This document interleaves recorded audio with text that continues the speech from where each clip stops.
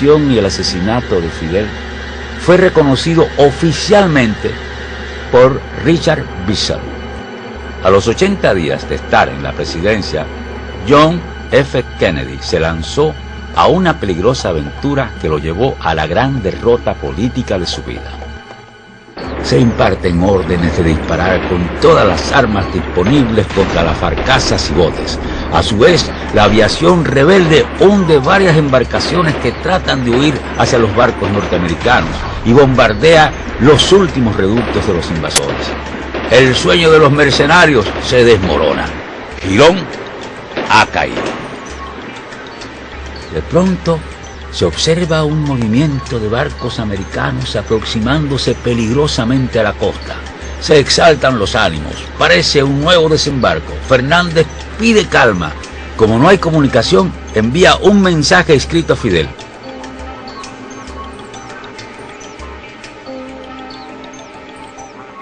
Llega el mensaje de Fidel. No es un desembarco, es un intento de reembarcarse.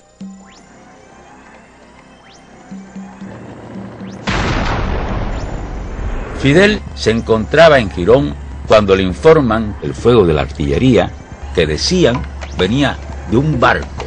Decidió ir hacia Playa Larga. A lo lejos se veía un barco, era el Houston. Luis Báez narra las impresiones del momento. El comandante en jefe no quería dispararle al barco, pues existía información que allí se había transportado la logística de la brigada mercenaria. Pero ante las noticias recibidas, Fidel decidió un disparo y el Houston voló.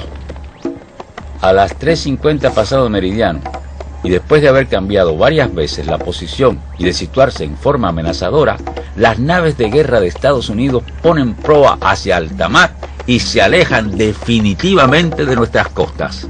Al caer Girón, se desvanecen las últimas esperanzas para el invasor.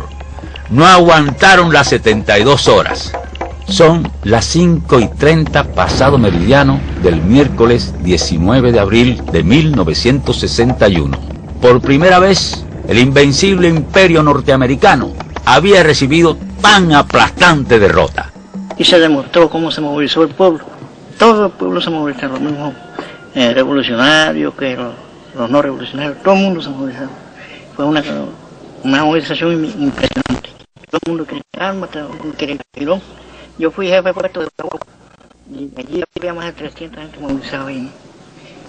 Lo importante lo patriótico, y por eso se dio la medalla de Girón, es la disposición de hacerlo en el lugar de los hechos.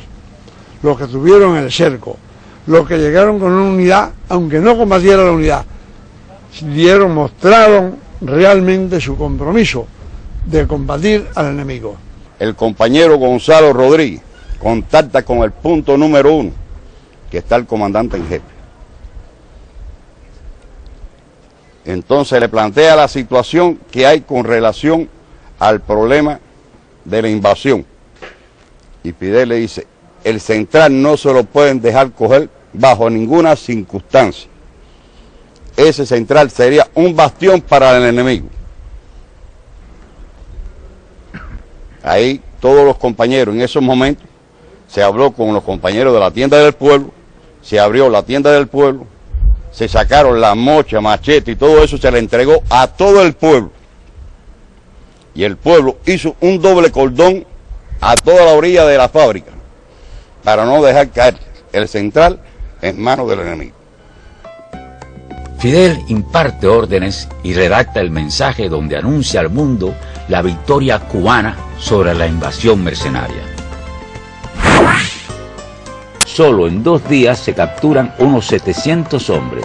Se entregan agotados por el hambre, la sed y sin escapatoria posible.